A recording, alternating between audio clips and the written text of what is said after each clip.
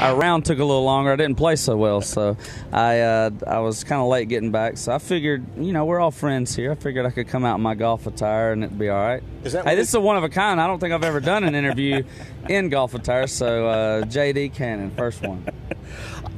Is this like a typical day for Cole Swindell? You try to get out on the links now when you're out on tour? Yeah, usually try to do something, get out and be active somehow. But I, I mean, golf is kind of that's that's what I love to do. I mean, honestly, a lot of people have hobbies, hunting, fishing, this and that. And I just, you know, out here on the road, I just like to go go play golf. I've always been a sports fan, and uh, you know that's why I love coming to Indy, man. Big sports town, and it's hard for me to believe that I, I knew exactly where I was coming for this interview because me and you have, have sat here for the past three years, man. And I, I can't believe how big things have gotten. But man, this is like my third or fourth time playing, counting the two nighter that Luke Bryan had here. I think. And I'd just like to add, every time you come, there's another number one or number or, or a second number one. So we're, we're up to five now, and and middle of a memory is heading in that direction too. Do you ever look in the mirror and just go, "Holy cow, I can't believe this"? I, I mean, yeah. Sometimes after a long night, you know. I'm kidding. no, uh, just yeah, absolutely, all the time. It's uh, people ask me, do I have to pinch myself? I'm like, man, I'm on permanent pinch mode. I just,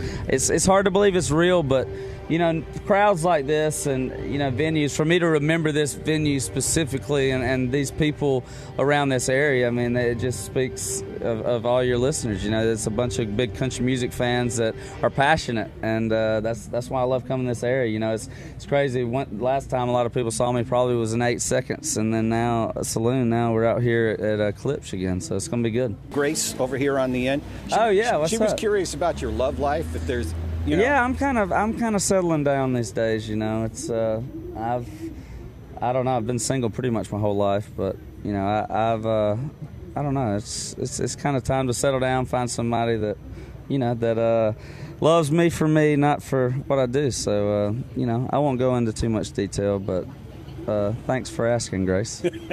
Why don't you tell us a little bit about the story behind Middle of a Memory, and then we'll let you go ahead and introduce it. Yeah, middle of a memory for the for anybody listening right now that would consider themselves a huge fan and maybe have a copy of my EPs, the Down Home Sessions.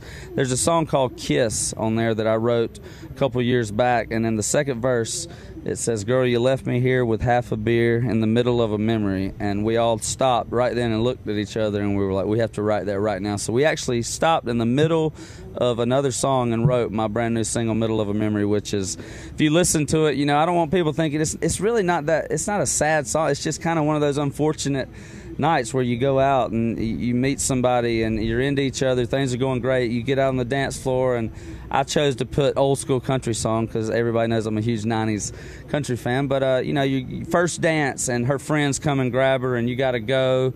One of her friends is sick outside, crying by the cab, and we've, you know, it's just one of those, one of those nights. that Maybe, and it's kind of like what could have been, what should have been, you know, and that's what the song's about. And we're about to film the video, so we'll keep y'all. Uh, hopefully, uh, folks will, you know, kind of see exactly what we're talking about here in this video. I can't wait to, to film it. And Cole, we thank you so much for taking the time Absolutely, to come and chat with us today, and uh, hope next time you come and play golf here, that you'll have a better round. I w- hey, today. I always say, you know, I get to have fun playing golf. I may may be terrible out there, but we're gonna make up for it tonight, so it's gonna be good. Always a pleasure to see you, Cole. Good to see There's you, some brother. more number ones. Thank you, buddy.